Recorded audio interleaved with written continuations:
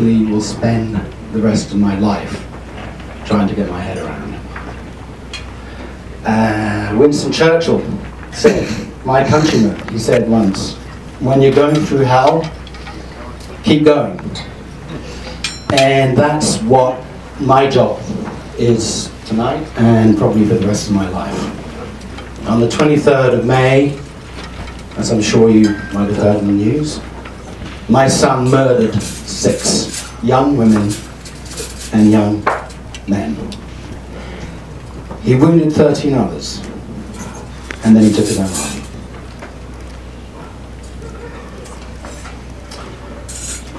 He terrorized a community. He shot not only family members, but his psychiatrist, his psychologist, his counselors, his mentor, and he the nation. And that is why I'm here.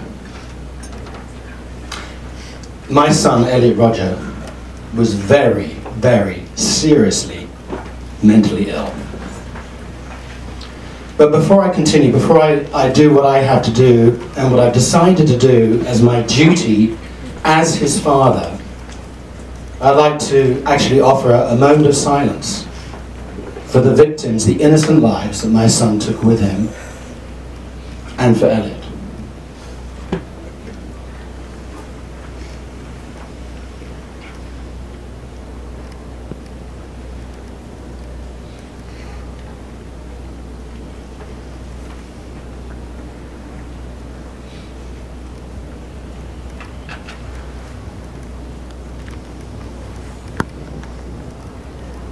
Thank you. In order for Elliot to have carried out these heinous, horrible, nasty, incredibly difficult, horrible acts, he must have been in a place that I don't think any of us can ever understand. Maybe people who have suffered from mental illness can understand it, but I certainly can't understand it. Uh, the distortion, the plunge into, into darkness, if you like, I think is, is shocking beyond belief.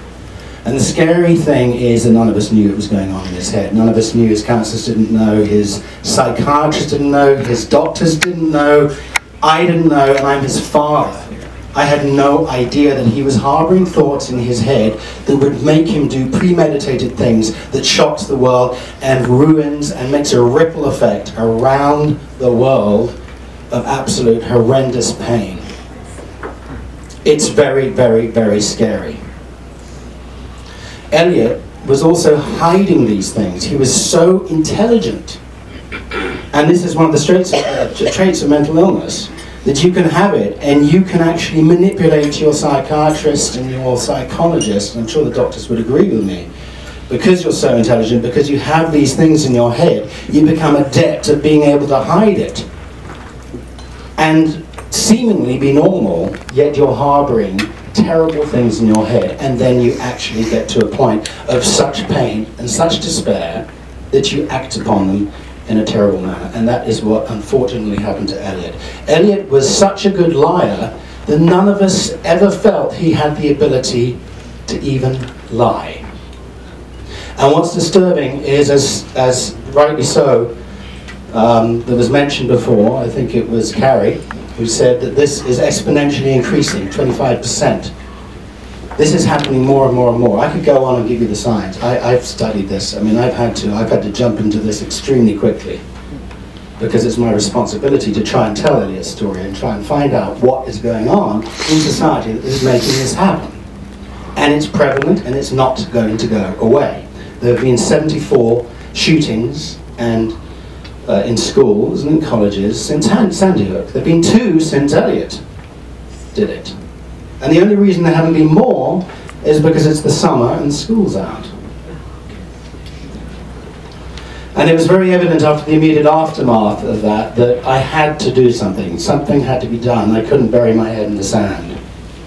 And so I need to share Elliot's story, which I will do continually, and also use it as a wake-up call.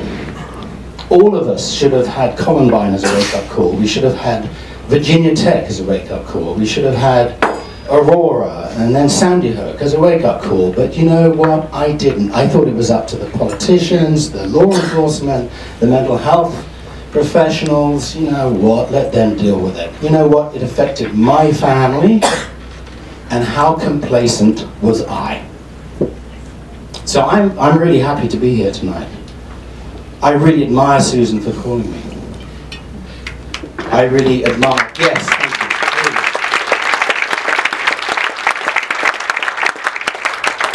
I, I think the common thread of all of us sitting here tonight is concern. It's not just the concern of the violent tendencies that can be a result of mental illness, because let's face the facts. Actually, most mentally ill people are in their own turmoil, and they're never violent. God bless Robin Williams. Let me ask you this question. Okay, please. How many of you out there know a friend or have a family member who is affected by depression, mental illness, or has special needs? Put your hand up, please. Or are yourself. Or are yourself. Thank you. I'm glad we're here. Woof, dearie me. That is a big show of hands. And when you find you have somebody who has a problem or you have a problem yourself, what do you do? There is so much lack of support in this country. There are so many holes in the mental health system that it almost doesn't exist. I've experienced this. I wish I'd heard from, you know, from Shashank and from, you know, from Carrie and and, and the Staglins and other people before this. I wish I knew that, although in my case it was different because I didn't even know that my son was mentally ill. Although there, there, there were signs, you know, there are common traits. This is something I want to do, by the way. I want to discuss the common traits, not tonight, another night, because there are a lot of them. But there are ways that you can detect that.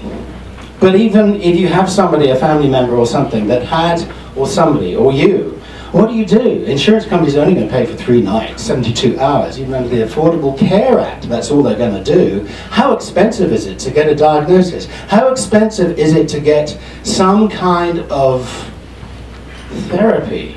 How much is a psychiatrist for an hour? Who's going to pay for it? What about a family in Arkansas that lives in the woods? What are they going to do? I, I don't know. You know? And then there's a stigma.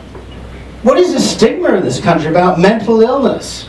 I'm sorry, it really angers me. If you have cancer, you go to a ward, they have smiley nurses with beautiful kind of flowery outfits and they treat you with respect.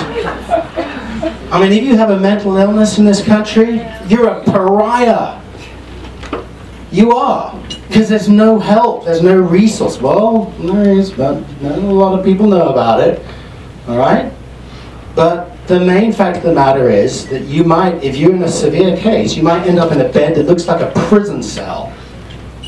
All right? And there are hardly any beds anywhere. I think there are only 12 in the whole of LA County.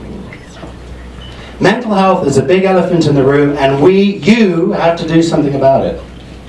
I know that people are doing something about it, and they're here tonight. And I'm really, really happy about that. So let's get to the nitty gritty. Let's get to the point a cure would be a really good thing.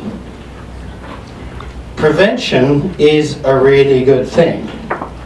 I mean, everybody thought the world was flat one day, and then they found out that it was round, and we actually got to the moon.